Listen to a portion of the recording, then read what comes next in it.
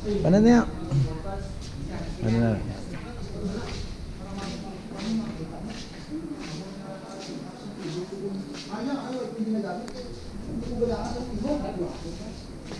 So guys, magbablog po kami. Magtutugtog po yung master na yan.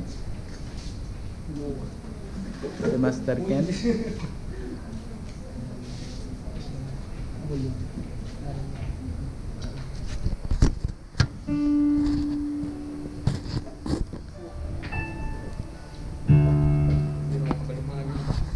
Example mo, sa kape kung huwag ka na keyboard.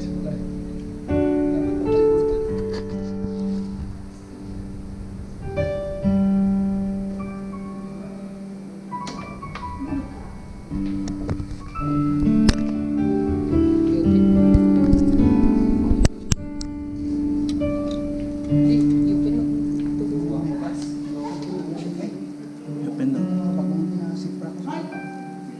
Tapos sa sarap.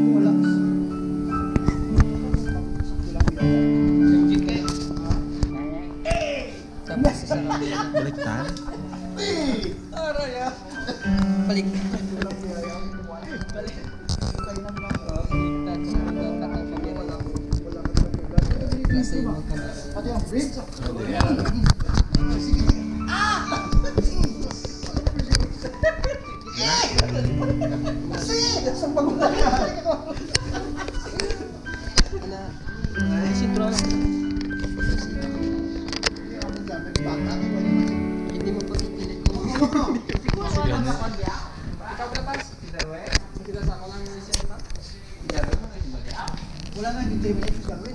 Tama na.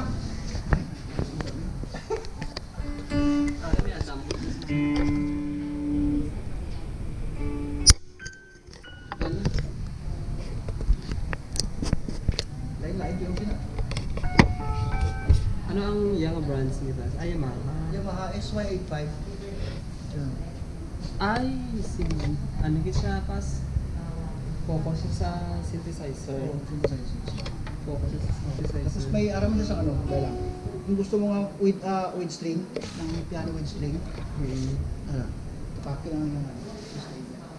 Mas gusto ko din kung nga gusto bang string. Ah, mo na siya may ginapangita git sa mga sa Sa worship. producer. Oh. Sa worship, abi mo na. Nagdugay ang pang pas.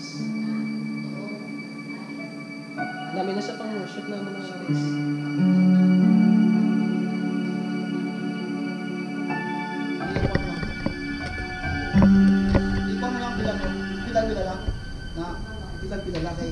Paano mo pag off mo sa pedal, ma-off man ang sustain niya. So mag-change key ka, uh, pagtapak mo siya.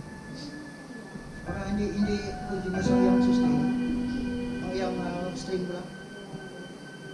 Pwede mo set, pwede mo siya i-set up ni siya, pwede mo i-kamyuhan ang mabuha, nakamo kasi na, pwede mo ilayin ang volume sa string niya. May ara ni isang what? Sa hindi siya na set up. Na na-try mo ah. Oo, arat da. Dati wala isang string. Gibutangan ko lang. May sarili siya nga volume.